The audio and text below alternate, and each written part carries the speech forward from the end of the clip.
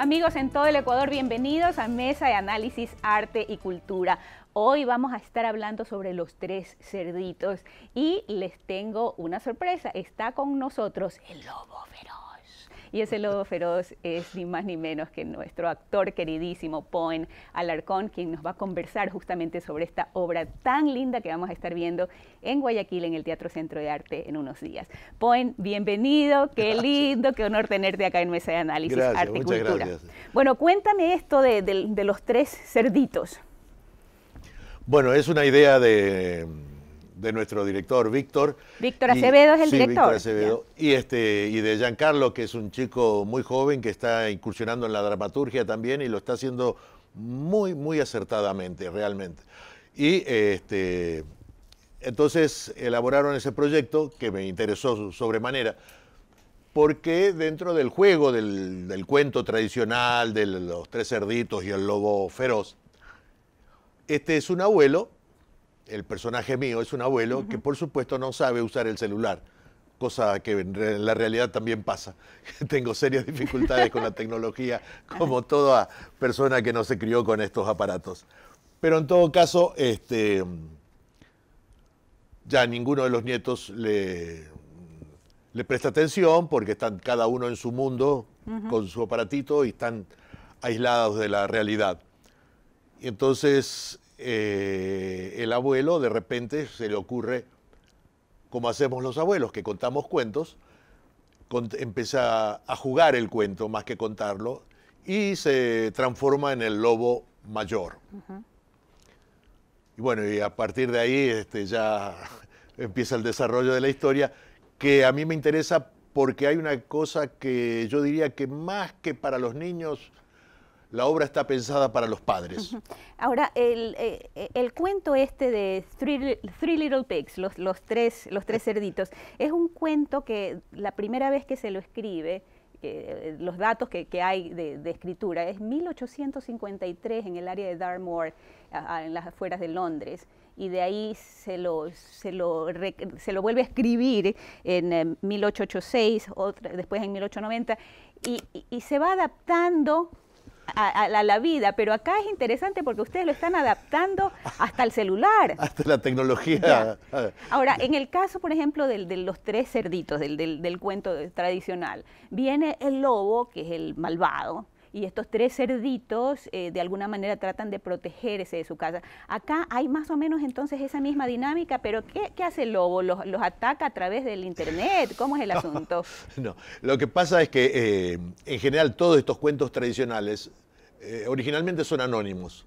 Algún escritor los escucha y después lo, lo los, escribe, los, escribe y, figura como autor, pero en general el altísimo porcentaje de los cuentos populares son de origen anónimo. Claro, de hecho, de hecho acá es del área de Dartmoor, por ahí se contaba esto, pero quién lo empezó a contar en realidad que no, no se sabe. Y este originalmente se daba que los chicos que no obedecían, ¿no? corrían peligro de que les pasen cosas porque aparece un malo de afuera que los si ellos no son obedientes, no hacen caso de cuidarse, etcétera, etcétera, le pueden destruir sus sistemas de defensa, que el que la arma poco, que es la casita de paja, se destruye rápido, etcétera, porque este, no le hicieron caso a la mamá de construir una cosa sólida con piedras.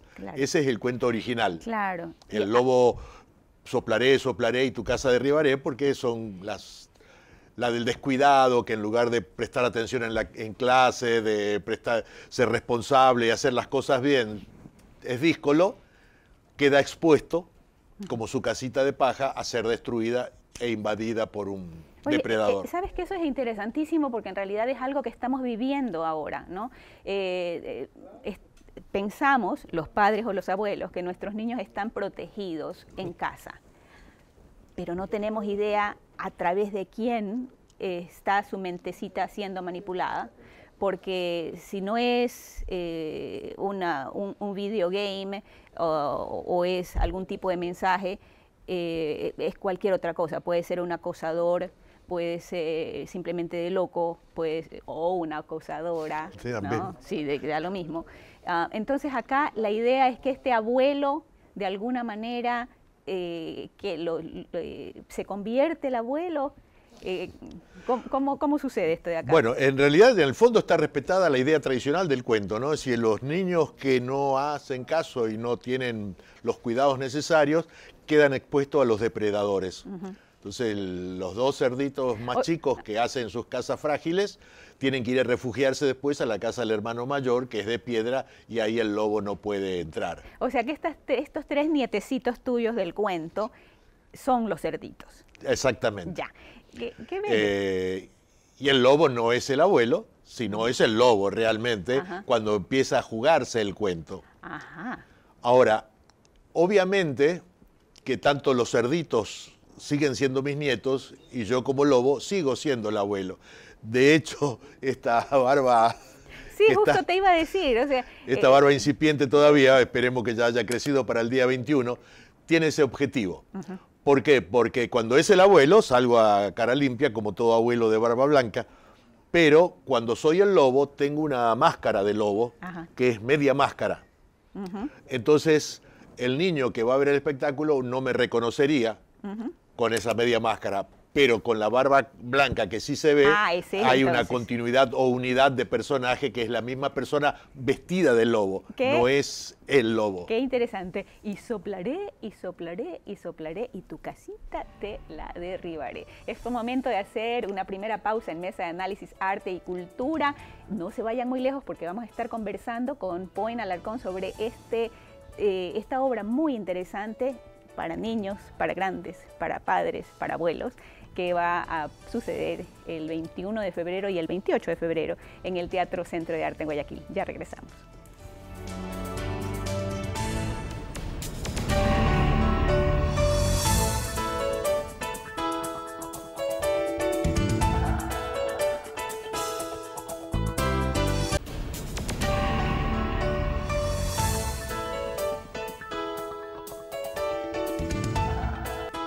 Gracias por estar de regreso en Mesa de Análisis Arte y Cultura. Estamos conversando sobre los tres cerditos, los tres chanchitos, eh, The Three Little Pigs, como sea que usted lo quiera llamar. Pero en todo caso, estamos invitadísimos, ¿no verdad? El 21 de febrero y el 28 de febrero del año 2021. este, sí, en el Teatro Centro de Arte a las 11 de la mañana. Y lo más importante es que están cubiertas todas, absolutamente todas las medidas de bioseguridad para el público. Ah, Tanto es así que en Alarcón, personalmente, que tengo 71 años, soy población de alto riesgo, eh, me animo a hacerlo porque realmente nos han cubierto todas, absolutamente todas las medidas de bioseguridad. Ahora, el Teatro Centro de Arte siempre es muy exacto cuando empieza, o sea que debemos suponer que las personas deben estar ahí más o menos 10 y cuarto, 10 y media, como para que este protocolo de seguridad se cumpla. Se cumpla con tranquilidad y poder empezar a las 11 oficialmente, porque ahí sí se cierra y el que quedó afuera, aunque haya pagado entrada, no entra. ¿Cuánto cuesta?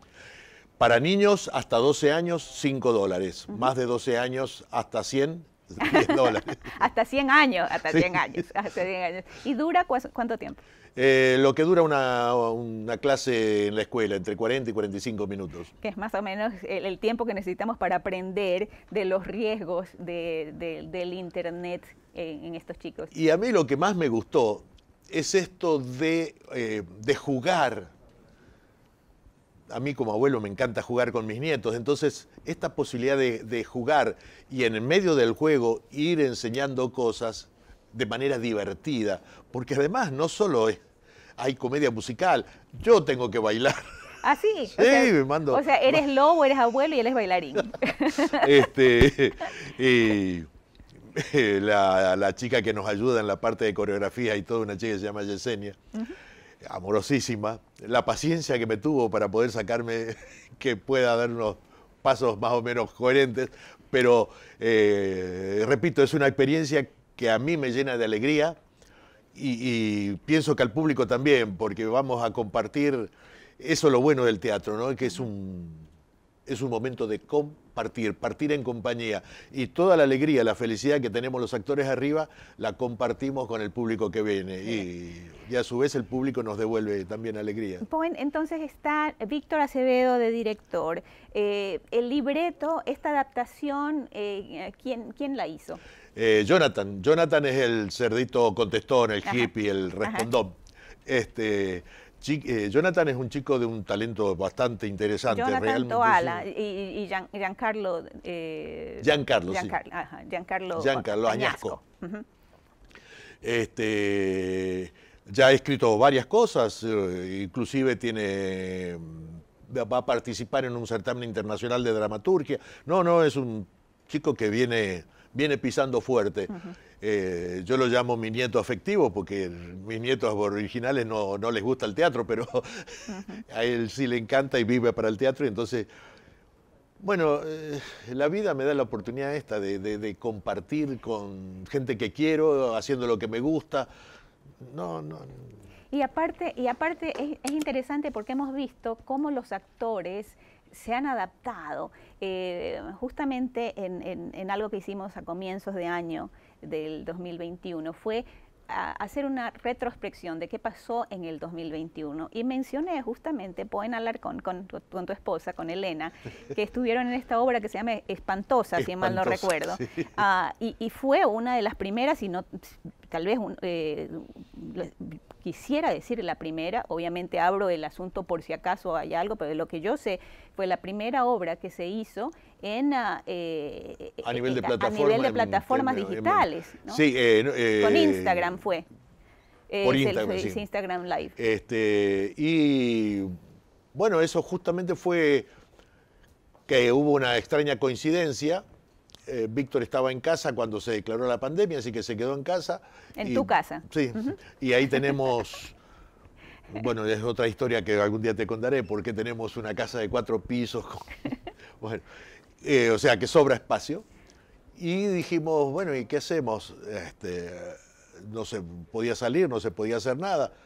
Estábamos en semáforo rojo y bueno, salgamos tecnológicamente. Y entonces empezamos a filmar las obras ahí, se hizo, hicimos eh, Aeroplano, que ya lo habíamos hecho en teatro con Víctor, este, se hizo, bueno, una producción muy intensa de teatro online y y en ese entonces estaba espantosa también y modelos de padres. Y, en realidad que fue extraordinario porque la, coreografía estaba perfecta, el diseño estaba perfecto. Ahora, eh, en cuanto a, diseño de escenario, ¿qué es lo que es lo que el público va a ver ahora en, en los tres cerditos? En los tres cerditos, bueno, es un elemento muy cuidado. Víctor es muy detalloso en ese, en ese tema y el vestuario, la escenografía, eh, hay una serie de juegos ahí que se construyen y se destruyen las casas, ahí es todo está muy bien diseñado, muy, bien, muy, muy cuidado, que es lo más importante, y en medio de los bailes y la coreografía se arman y desarman cosas, pero entre medio de este baile y todo, hay un juego que mm, aparece la madre en el campamento, pero aparece vía electrónica, así, aparece un celular que llama y controla, cree que controla a los niños, les pregunta qué están haciendo, que muestran lo que están haciendo, cree que controla, pero los niños en ese momento están escondiendo al lobo. Ajá, a través de su mismo celular. Y está escondido por los niños, mientras los niños, no, mami, está todo bien. Es decir, eh, por eso digo que la obra, que si bien es divertida, es juego y los chicos la van a pasar muy bien, también está pensada y orientada a los padres jóvenes que con mucho esfuerzo, con mucho sacrificio, compran el celular para sus hijos y no saben que a lo mejor le están abriendo las puertas del infierno al niño.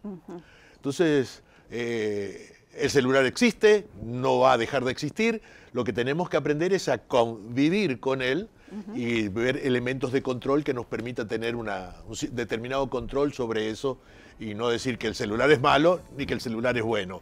Existe. Y como todas las cosas en manos de humanos, depende del uso, se transforman en buenas o malas. exactamente, es el uso que le, que, le, demos cada uno, es el cuidado que tenemos, que tenemos que tener los padres, los abuelos, los hermanos mayores, los tíos, los profesores, eh, en torno a estos niños que a veces se creen grandes y tenemos unos niños gigantes, grandísimos, desde los 7, 8 años de edad. Ah, pero ya regresamos, después un ratito vamos a seguir conversando sobre Los Tres Cerditos, que es una obra de teatro para niños y para adultos que se va a dar ahora el 21 de febrero y el 28 de febrero en el Teatro Centro de Arte. Es momento de hacer nuestra siguiente pausa. Usted puede enviarnos sus correos o sus sugerencias a nuestro correo electrónico que es mesa de análisis o puede escribirnos por celular, por internet, por Instagram, por Facebook. Ya regresamos con más de los tres cerditos y el lobo mayor.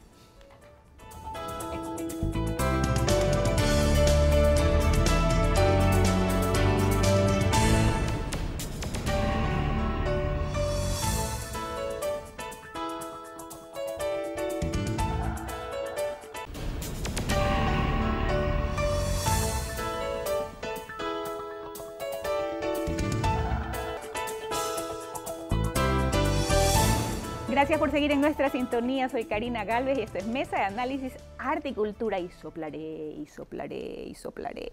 Y tu casita la derribaré. O te llamaré, te textearé y me meteré a tu casita y te puedo hacer daño. Y eso es justamente la idea de, este, de, este, de esta obra de teatro interesantísima, Los Tres Cerditos y el Lobo Mayor. Y tenemos acá Lobo Mayor. Lobo Mayor, qué susto. Este, Cuéntame un poquito acerca de la personalidad de, cada, de cada cerdito, de cada niñito. Bueno, eh, eh, el proceso de creación de esta obra, ¿no? Lo fuimos trabajando en conjunto y se va definiendo lo mismo que pasa en una familia, es decir, eh, ningún hermano es igual al otro.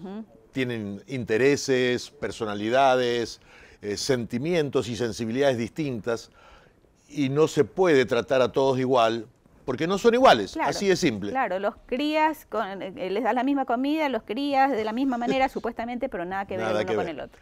Bueno, y en este caso son los tres cerditos que son hermanitos, ¿no? Pero uno es este, disciplinado, metódico, guarda todo, tiene todo ordenado porque quiere ser un gran chef. Entonces, eh, el otro es, que me importa? Hippie pero es que está siempre pensando y se da cuenta de algunas cosas. Y el otro sueña con ser narrador deportivo.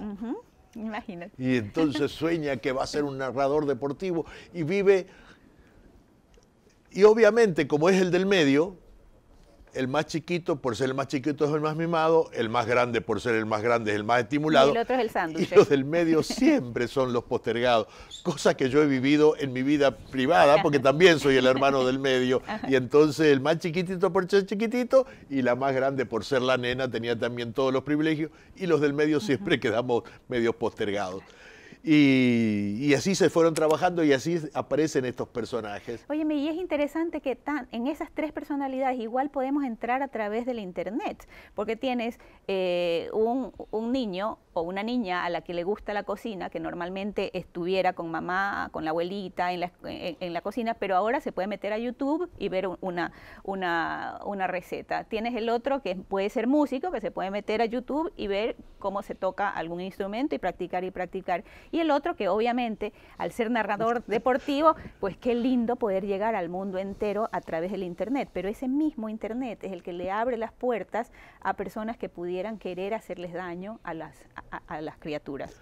Sí, es lo que decíamos en el bloque anterior, ¿no? Es decir, la tecnología está, no es ni buena ni mala, está. El uso que hagamos de ella depende de nosotros y de la voluntad de querer usarla en una forma positiva. Y muchas veces, repito, los padres hacemos tanto esfuerzo en adquirir la tecnología para que al nene no le falte o a la nena no le falte nada, y no sabemos realmente qué estamos comprando o qué le estamos dando. En el caso tuyo con tus nietos que viven en diferentes partes del mundo, eh, llega ese abuelo, ¿cómo, le cuenta Poen Alarcón los cuentos a sus nietos? Bueno, eh, justamente en plena pandemia eh, empecé a contar los cuentos por internet por WhatsApp les empecé a contar los cuentos. ¿Pero qué haces? ¿Le grabas el cuento al niño? Claro, me lo grabo y después se los mando. Qué bonito.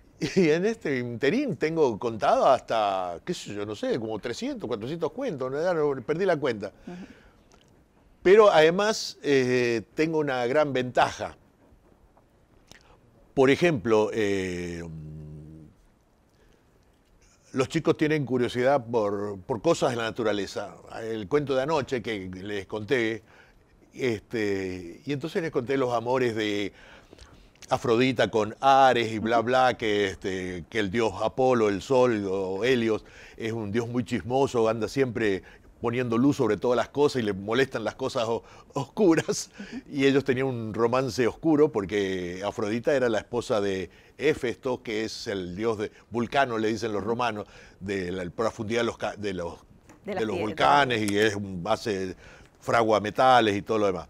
En todo caso, este, Marte o Ares pone a su sirviente a que controle le anuncie cuando está por salir el sol. Y Morfeo, que es un dios también así muy divertido y que le gusta molestar, y, entonces, si no le rezas, te abandona y entonces uno anda que no puede dormir y tiene que acordarse y rezarle, o por ejemplo te hace dormir en los momentos importantes. Bueno, lo duerme al, al sirviente. Aparece Apolo ve lo que está pasando, se va y se lo cuenta a Hefesto y el otro hace un juicio. Bueno, la historia, la cuestión es que se disuelve ese matrimonio, hay problema con los dioses, pero Marte o Ares, depende como el nombre romano o griego, se enoja con su sirviente, lo amarrea y lo transforma en ave. Y desde entonces el gallo, cada vez que ve que va a salir el sol, se pone a los gritos porque no quiere que lo vuelva a castigar su patrón. Eh, pero mira qué maravilloso. Y eso es la, parte linda en que podemos retomar de que justamente esta, este Internet nos sirva de conexión.